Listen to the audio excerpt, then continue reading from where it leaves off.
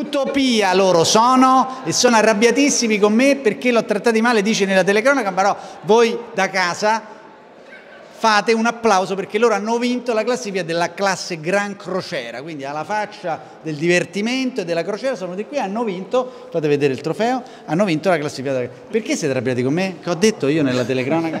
In partenza c'è detto quella, quel barchino lì, una classe Ior, Irch, Irk, non mi si è capito bene. Il barchino è un, un po' pier... mangiato le parole, quindi non si è capito Pure, bene Madonna mia, vedi come stanno attenti, mi fa piacere. So- loro sono gli ascoltatori più importanti che noi abbiamo.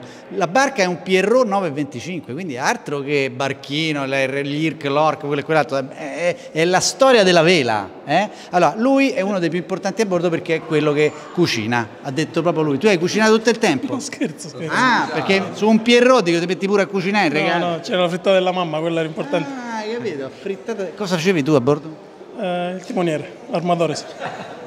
Veramente cucina, l'armatore, la frittata della mamma, il timoniere, l'armatore. Senti, raccontaci i momenti chiave di questa vostra Round the Olean Race 2021. No, niente, abbiamo fatto una bella partenza. Su- siamo partiti la, la prima barca della classe Gran Crociera e niente. Poi Dai i voti all'equipaggio, dai, proprio chi è stato bravo, chi poteva fare meglio. Cioè si applica poco, capito? Quelle cose lì che... Eh, no, no, si sono applicati tutti, Tutti tutti bravi, bravi. tutti bravissimi. Allora, tu che facevi a bordo? Stavo a bordo. Lui, che facevi a bordo? Stavo a bordo. Era proprio. Hai capito? Poi dice che te eri timido, mannaggia. Se- hai passato la timidezza tutta a loro. per- Taylor, eh?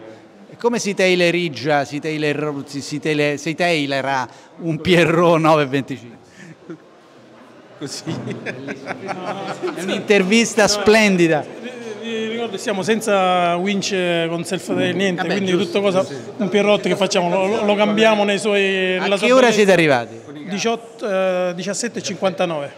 C'è ragione. Dice, ti pare che lo cambiamo nella sua bellezza il Una- Pierrot? meno di un'ora dai primi che sono arrivati, diciamo, i grossi nella nostra categoria. Un'ora dopo i primi della categoria. il primo e 33 minuti dopo il secondo, dopo era Allora, in tu- tempi reali. eh.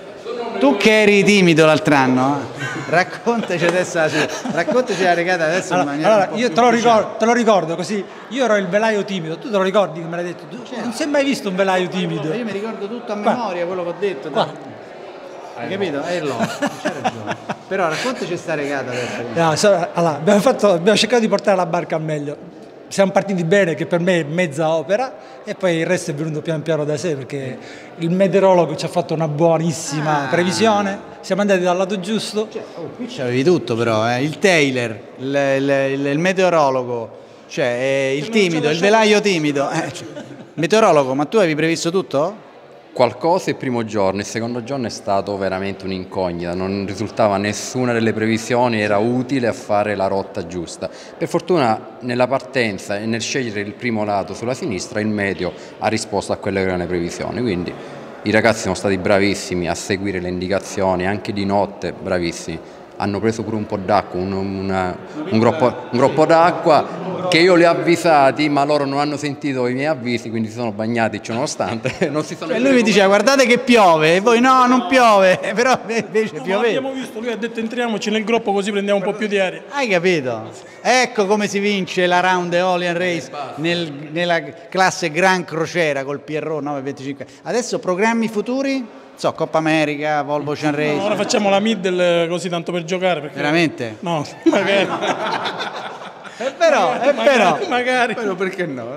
Andiamo. Dice perché no? Velaio? No, probabilmente lui vorrà, cambiare barca, vedremo. Quindi se cambia barca cambia pure vele. Eh, c'era. Eh sì, qualcosa faremo. Invece tu, i meteorologi, in questo periodo, una tragedia proprio. Non so se è meglio, il fatto che ormai proprio le previsioni non ci piano più. Andate dove volete, Cioè, con- però per fortuna almeno un giorno ha risposto a quello che è stata la realtà. Comunque ricordo che è 7,50 m di lunghezza a galleggiamento questa barca. Capito? 7 metri e mezzo. Ragazzi, siete bellissimi, siete splendidi. Ciao, alla prossima.